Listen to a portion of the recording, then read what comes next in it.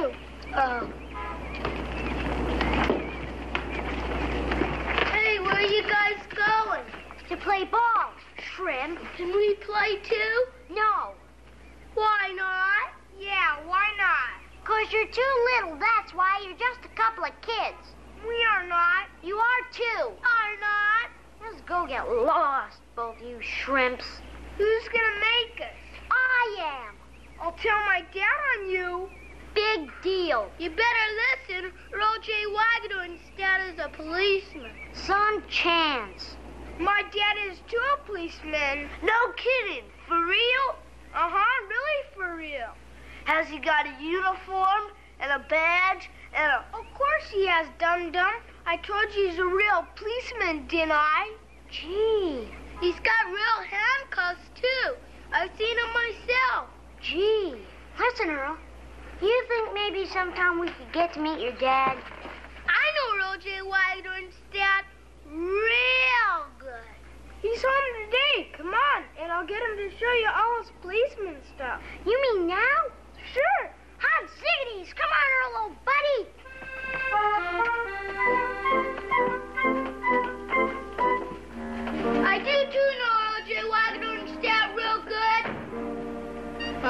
Almost as good as he does.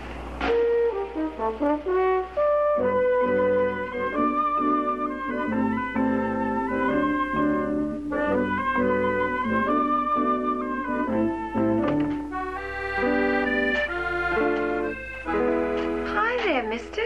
Hi, Mom. What's happening? Are you feeling all right? Yeah, I guess so.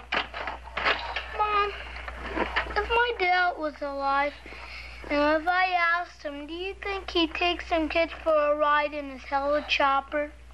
Helicopter. Helicopter. Would he, Mom? I don't know if the army would let him, but he'd certainly have tried if you'd asked him.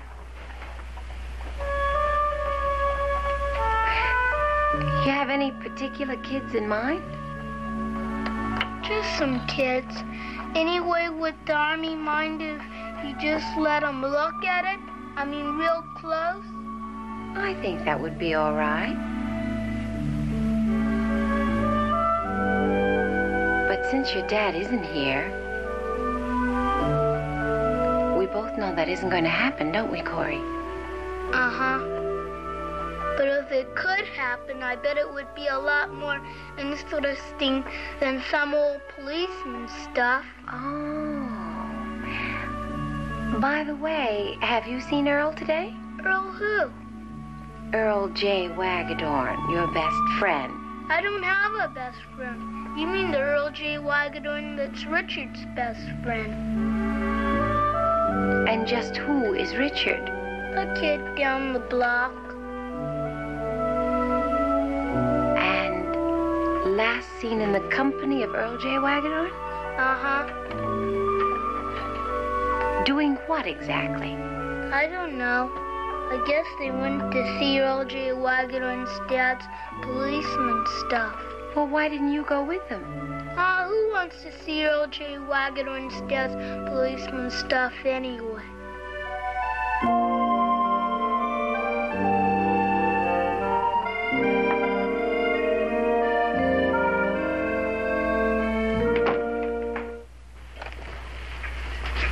You. Oh, Baker. What's an OM? An OM? Now, don't play innocent with me. I heard what that OB said when I came in. OB? Old bat. Now, just what does OM stand for? For old man, naturally. Old man? Isn't that what sailors usually call the captain of the ship? Oh. Yes, it is.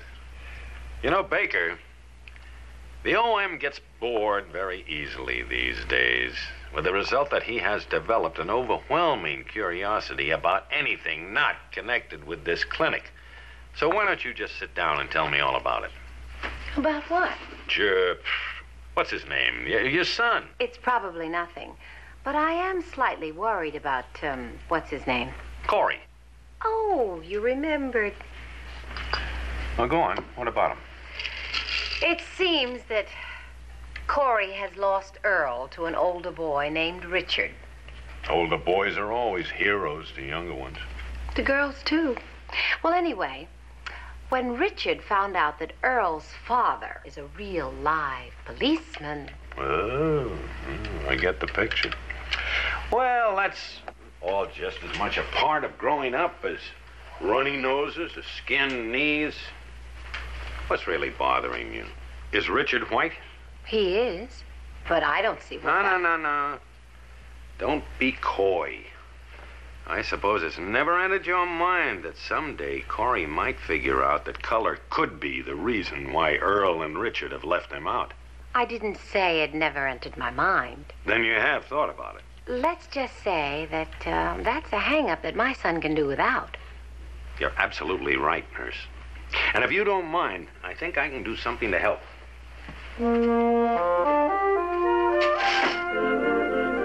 There. You know what that is? A bleaching kit? Very ha-ha.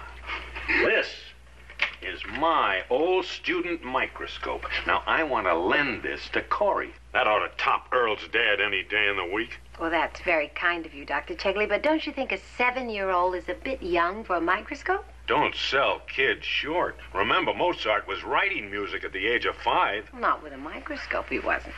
But really, Doctor, that's very thoughtful of you. Now, take my word for it, Julia. He will love it. What's more, he'll be the only kid on his block that has one. That's exactly what bothers me about it.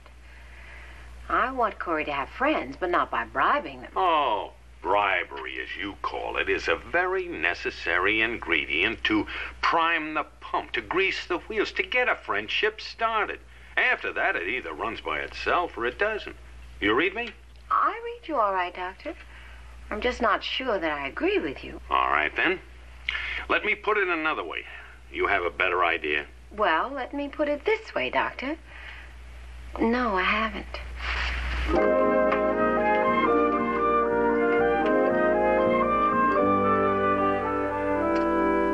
When are you gonna show me what's in the box? Just as soon as you finish your dinner. I'm finished. Well, not according to your glass, you haven't. I guess I forgot some stuff.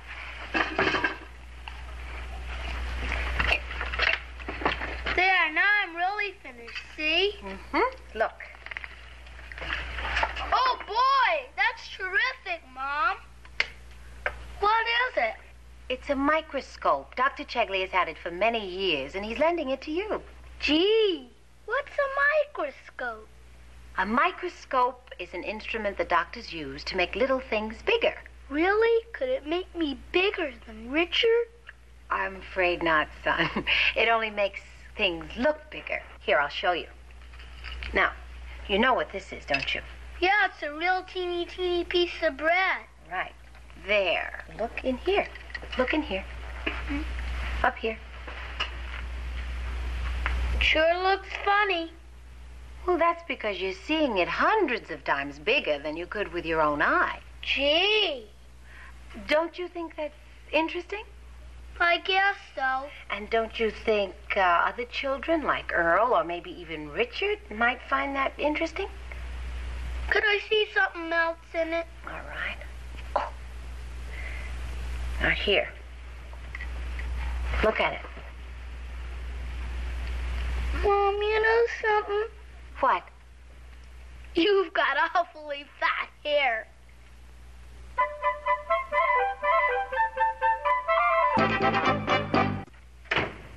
You wanted to see me, Doctor? Baker, did you give that jerk Edson placebos yesterday? Yes, Doctor. And did you tell him to take one every two hours? I did. Now, don't you realize that these new miracle drugs are very potent? Mr. Edson is convinced that he's been overdosed. Doctor, you know those capsules contain no more than milk sugar and couldn't possibly have had any effect on him. I know it, and you know it. But Mr. Edson is in a world of his own. Now, in the future, you will prescribe one capsule for every 12 hours. You got it? Got it, Doctor. Will there be anything else? No. Unless. Unless you want to tell me how my microscope went over last night. Uh, not too successfully, I'm afraid, Doctor. Corey is just a little too young to comprehend it. No. No, I don't accept that. Just because you struck out trying to explain it, that's no reason to give up.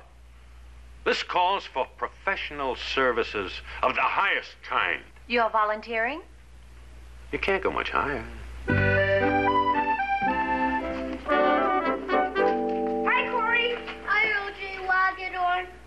Play ball. Hey, Richard. Can Corey come play ball with us? Nah, he's just a shrimp kid. I haven't got time to play anyway. I've got to experiment with my microscope. Gee, you got a microscope? Uh-huh. Gee. What's a microscope? What you got, some kind of kid toy? It's not a toy. Dr. Checkler lended it to me, and he used it in a real hospital. Okay, let's see it. Okay. Okay, gang, let's go see Shrimp Baker's microscope. Oh, hi, Mrs. Baker. Mr. Bennett? Dr. Chegley. Well, how are you, Bennett?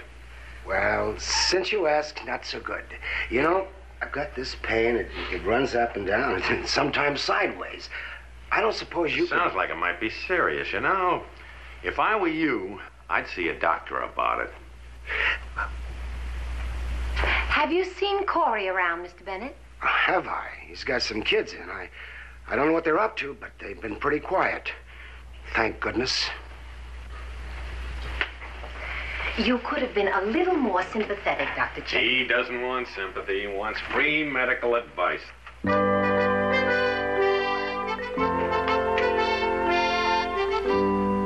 Oh, no! My old school microscope. It don't. Corey Baker, Hi, Mom. just what do you think you're doing? Watching. Just watching. Hey, give me that. Where's the. Hey, you kids, get down from there. You want to fall down? Give me that. Here, and, and, and that. And that. No, you don't. No. Who's he? That's Dr. Chegley. It's his microscope. Oh, It was a microscope, and it, it better be again. Didn't I tell you to be careful with that, mister? Now, didn't I? I didn't do anything. I didn't even get a chance to look. Did I? Me neither. Think. Well, I told you not to break it like that. No, it isn't broken. You came close, but you didn't quite make it. No. See, this is a precision instrument. It must be used properly. Fortunately, I am about to give you little. Uh, I'm about to give you a brief history and demonstration of the proper use of a microscope. So, all of you boys, sit down and pay attention. but I gotta. I said sit down. Now, this instrument is the most valuable single tool in all of medical history. Why, as far back as 1675, Antony van Leeuwenhoek made a primitive microscope. It was a major breakthrough in medical science. Now, put simply, all a microscope really is is a light gathering device consisting of a series of concave and convex lenses assembled in a sequence Yeah. designed to vastly Do you know enlarge what the Dr. image Jiggly's talking object about? Uh-uh. front of it. Now, in Me order to accomplish this, we first place the object to be viewed on a glass slide, like this. Now. Now, take another look in there and tell me what you see. Hmm? Some kind of little worm, I guess. Exactly. Now, that little worm, as you call it, is the cause of many, many. Excuse me, Dr. Chegley, but it is getting late. I think the boys had better be getting home. Oh, and I was, I was just getting started to. Oh, well, I guess it can wait till another time. All right. Goodbye, boys. Night. Good night. Good night. Night. Night, Corey. Night, Dr. Chegley. All right. You go wash up. Dinner will be ready very soon. Boy, it's about time. I think I could use a drink right about now. Mmm. Sherry? Oui, sherry.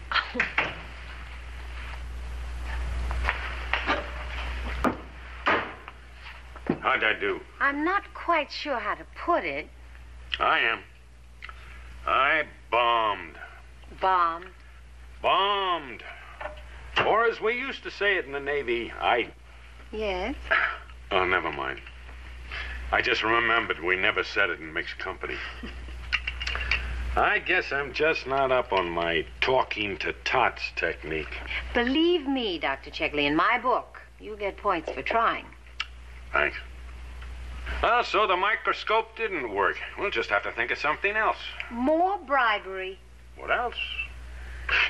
Would you mind if I took Corey out Saturday afternoon? That all depends on what you have in mind. No, it's nothing frightening. A friend of mine owns a boat. I think I can talk him into taking three passengers sailing.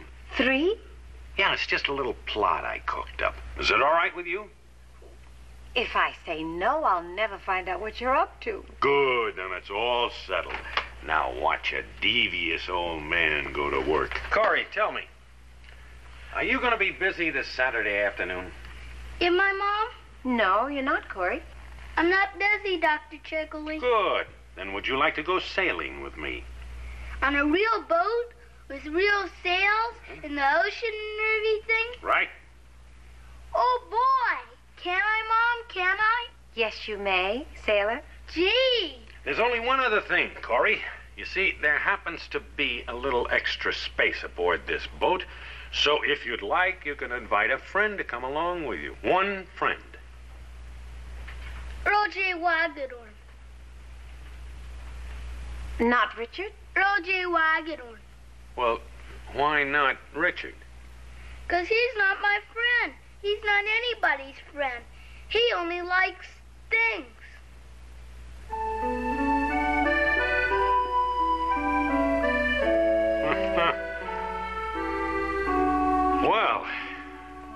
I'm relieved to note that there are some things that Corey can see even without the help of a microscope.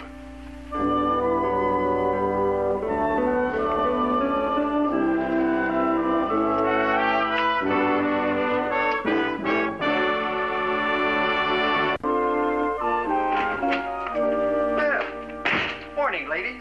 And how was the weekend? Two days long, like it always is. What's with her? You mustn't mind Hannah, Eddie. It's just the doctor is in a mood this morning, and Baker, I. Ah, Edson. I was just leaving. No, Doc. no, no, don't leave on my account. As a matter of fact, I'd like to talk to you, Edson. Won't you step into my office? Me? You.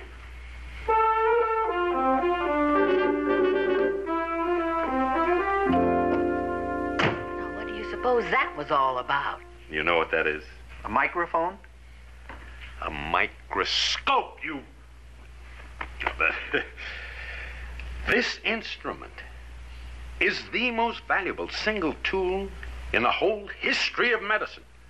Why, as far back as oh, sixteen seventy? What's the catch, Doc? I mean, why are you telling me this? Oh, There's no catch. I just want to see if a simple mind can understand a simple explanation of this instrument.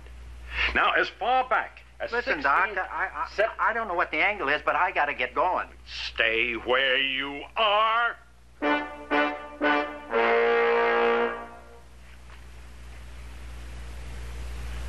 As far back as 1675, Antony van Leeuwenhoek made a primitive microscope, a major breakthrough in medical science. Now, with this discovery, any object placed in front of